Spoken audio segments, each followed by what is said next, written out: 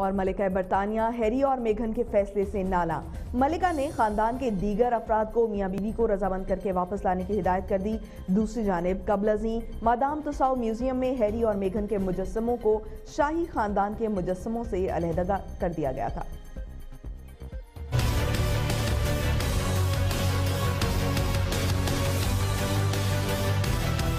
ملکہ برطانیہ الزبتھ نے prince Harry اور میگن مارکل کی شاہی خاندان سے علیحدگی پر افسوس کا اظہار کرتے ہوئے معاملے کا حل نکالنے کی ہدایت کی ہے۔ ملکہ برطانیہ نے شاہی خاندان کے چاروں گھروں کو ہدایت کی ہے کہ وہ چند روز میں معاملے کا حل نکالیں اور دونوں کو واپسی پر رضامند کریں۔ قبل ازی میدان تساؤ میوزیم نے پرنس ہیری اور میگن کے مجسموں کو شاہی خاندان کے مجسموں سے علیحدہ کرتے ہوئے نہیں، دیگر اراکین سے دور کر دیا۔ اس سے قبل میوزیم میں پرنس ہیری، میگن کے مجسمے، ملکہ اور ولیم کے مجسموں کے ساتھ تھے۔ انتظامیہ کے مطابق یہ اقدام پرنس ہیری اور میگن کے شاہی خاندان سے علیحدگی کے فیصلے کے بعد کیا گیا۔